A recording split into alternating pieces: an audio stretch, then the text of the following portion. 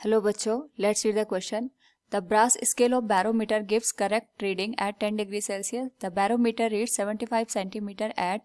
30 degree Celsius. What is the atmospheric pressure at 10 degree Celsius? Here, coefficient of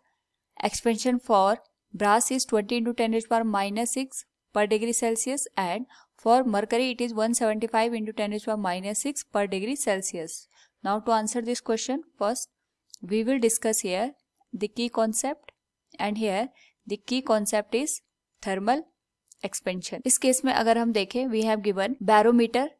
जो कि हमारे पास यहाँ पे ब्रास का बना है, और ये हमारे पास करेक्ट रीडिंग दे रहा है at 10 degree Celsius and the barometer read 75 centimetre at 30 degree Celsius what is the atmospheric pressure at 10 degree Celsius यानी अगर हम बात करें यहाँ पे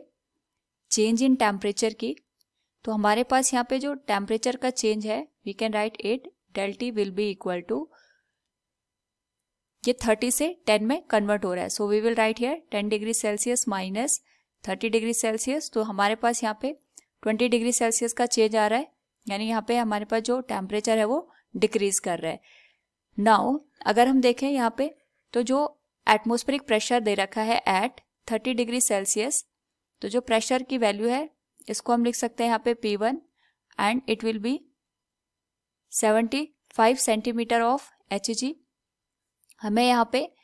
10 डिग्री पे प्रेशर की वैल्यू को फाइंड आउट कर रहे हैं। सो so, हम इसको यहाँ पे मान सकते हैं जो प्रेशर होगा 10 डिग्री पे ये हमारे पास P2 के बराबर होगा। So we can use here the formula P2 will be equal to P1 one into one plus coefficient of thermal expansion for brass and mercury क्योंकि हमारे पास यहाँ पे टेम्परेचर में चेंज होने की वजह से मरकरी और ब्रास दोनों के यहाँ पे जो कोफिशियंट दे रखे, उसके रिस्पेक्ट में दोनों की वैल्यू में चेंज आ जाएगा। So we will write here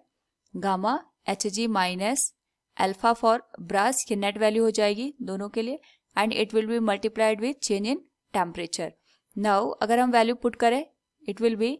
P two equals P one की वैल्यू जो हमें दे रखी है that is seventy five centimetre of H G into one plus जो मरकरी है, इसके लिए थर्मल एक्सपेंशन की अगर हम बात करें it is given as 175 seventy five into ten h power minus six और ब्रास के लिए ये वैल्यू दे रखी है 20 into ten h power minus six temperature का चेंज है that is minus twenty degree Celsius now यहाँ पे अगर हम वैल्यू को सॉल्व करें this will become P two equals seventy five into one minus zero point zero zero three one दोनों value को मल्टीप्लाई अगर हम यहाँ पे कर दें तो this value will become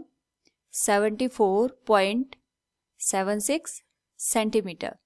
तो हमारे पास अगर टेम्परेचर 10 डिग्री सेल्सियस यहाँ पे लिया जाता है, उस केस में तो प्रेशर की वैल्यू होगी दैट विल बी 74.76 सेंटीमीटर। और यहाँ पे हमारे पास जो ऑप्शन है, अगर हम उसमें अप्रोक्सीमेट वैल्यू करके देखें तो ये हमारे पास आ जाएगा 74.8 centimetre of mercury so from the given question we can say here what is the atmospheric pressure at ten degree Celsius it will be 74.8 centimetre of mercury option A will be the correct answer hope all you understood it thank you and best of